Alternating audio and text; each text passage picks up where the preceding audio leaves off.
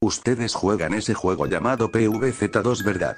Yo también pero desde que me pasó algo por el juego desde ahí no lo volví a jugar les contaré mi historia. Yo como siempre cuando salía del colegio iba a mi casa y jugaba el PVZ2 completaba las misiones jugaba arena y ya iba a subir de liga pero justo cuando iba a entrar a una partida de arena y me llegó una notificación de un youtuber del PVZ que decía PVZ3, pre-alpa ya está disponible.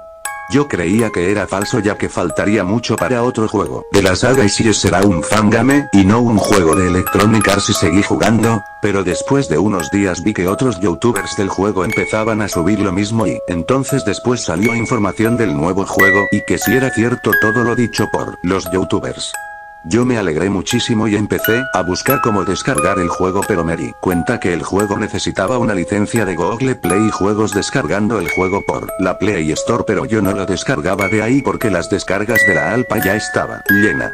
Después busqué en Google a ver si estaba el app sin licencia y encontré un link extraño que decía descarga PVZ3 pre-alpa gratis sin licencia. Yo emocionado y feliz, descargué el juego por ese link, pero cuando ya había descargado el juego tenis otro nombre, que era PVZ3 Pre-Alpha versión 666, yo pensé que era un error y abrí el juego y el juego me entró pero lo raro es que todo estaba gris pero no le tomé importancia y apareció el DR, zombie diciendo no continúes y me apareció un cartel que decía deseas continuar y yo pulse. Si el juego se pudo en negro por 3 minutos, después de que se saliera la pantalla negra aparecía otra vez el DR zombie, diciéndome yo te lo advertí y apareció Penny, diciéndome porque no hiciste caso y de ahí apareció un nivel donde las plantas eran nuevas, y raras y zombies con sangre y objetivo del nivel decía este es tu fin y empezaron a venir zombies fuertes que no morían y perdí el nivel y apareció un zombie gigante nuevo, que decía perdiste el nivel por eso uno de tus familiares amigos o persona que quieras, mucho perderá la vida y ese zombie mató al DR zombie destruyó a Penny y mató a Dave y el juego de desinstalo, yo no podía dormir pensando en los id me dijo el zombie ayudía. Después apareció un amigo mío muerto a causa de una muerte a mordidas.